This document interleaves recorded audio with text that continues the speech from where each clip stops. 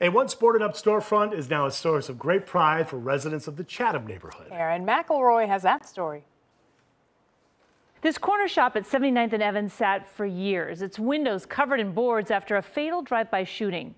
Today, sun pours in on the brand new windows of the transformed space full of merchandise handcrafted by talented Chatham artisans. We are in the community of Chatham. The buildings are just beautiful terracotta buildings that were built in the 1920s.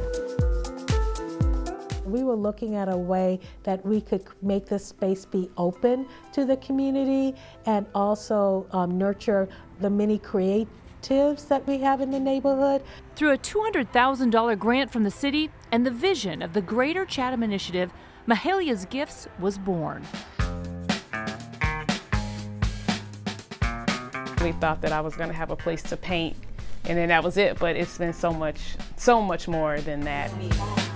An inviting brick and mortar storefront for artists to work, collaborate, and sell their goods. From my peony collection, peony rose collection, I have luminous dewy hydromus, for moms, for artisans, for the community to be able to have a place to go to, um, to just be able to have access to like a lot of handmade, like a lot of things that were created like out of love. Miles is one of 25 vendors whose wares now grace the sunlit shelves. I also have turmeric mint soap, which is great for hyperpigmentation um, in the skin.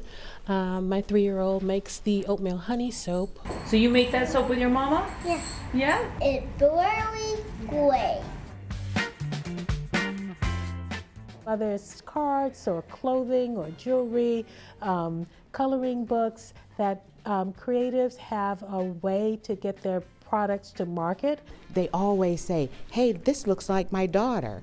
This looks like my cousin. This looks like somebody. And it just shows them that you can be whoever you want to be. And we're all beautiful no matter what color we are. I am a children's book author.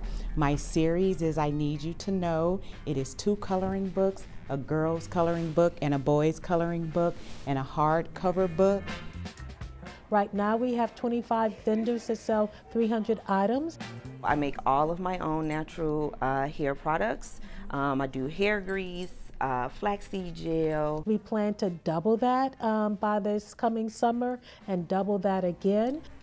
It feels very good. Like just when I get a customer who's like, hey, my hair is growing back, or hey, my skin is getting better, I'm just like, uh, that is like the the prize in itself for me. Um, it really feels good just to know that people are using the products and using them consistently just to see results.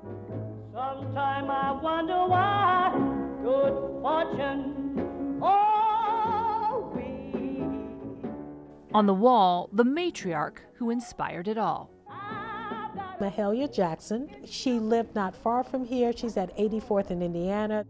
Not only was she this fabulous singer um, from the 20th century that was world renowned, she had a flower shop, she had a beauty shop, and so she was the quintessential modern woman, you know, able to do a lots of things simultaneously, and so we felt just made sense to call this Mahalia's.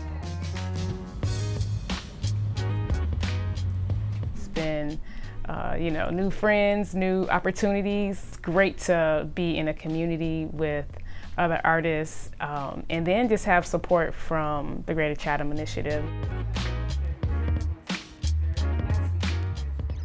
You are my heart, my soul, my peace after a long day. My heart and soul goes into creating every single card that I create. And so to see someone like pick it up, pick up a card, look at it, and just read it, and then we're like, oh, you know, it warms my heart. Mahalia's gifts reviving the rich history of a community rooted in art. People seeing people that look like them, um, you know, being creatives, right? And, and selling their art. And that's really what it's about to me. Highly recommend you check it out. Mahalia's Gifts is open Tuesday through Saturday, 11 to 7. We'll post a link to their online store and the exact address for you on WGNTV.com. Aaron McElroy, WGN News. Great